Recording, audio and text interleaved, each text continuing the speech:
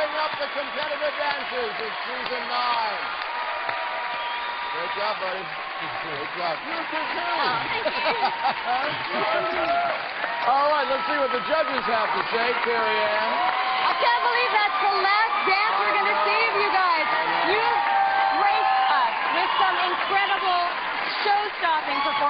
performances, Donny. I've loved every performance, but I have to say I'm so glad you chose this as your final dance because this was artistry in motion the first time, and once again, artistry in motion tonight. All right, Len. Well, Donny, you've travelled a rocky path, I think. You've been mostly good,